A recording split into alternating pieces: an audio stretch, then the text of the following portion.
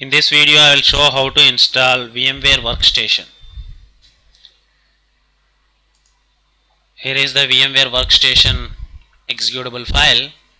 The size of this file is approximately 473 MB. Just double click on this.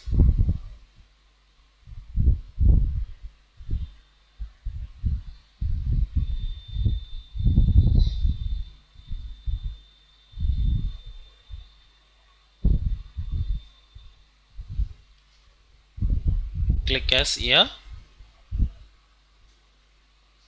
VMware Workstation 8 is installing.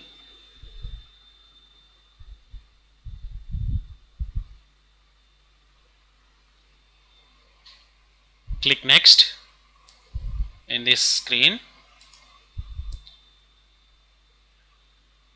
and click on typical and it is going to install in VMware VMware Workstation folder under program files.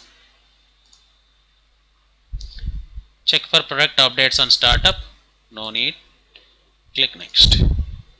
Help improve VMware workstation. Remove this tick and click next. And create shortcuts for VMware workstation in the following places. Start menu programs folder and desktop. Let it be. Click next. And click continue here to start the installation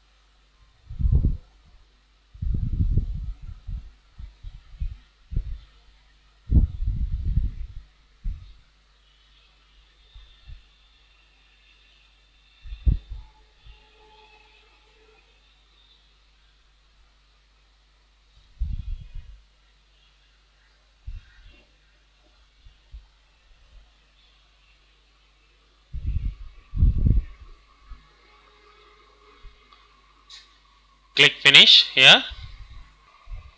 So VMware is installed. Now you can open it using uh, all programs. VMware VMware workstation.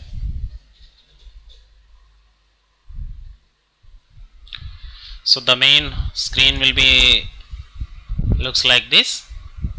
After installation of VMware workstation 8 so here there are no entries like uh, you, if you create a new virtual machine you will get uh, the entries in left hand column.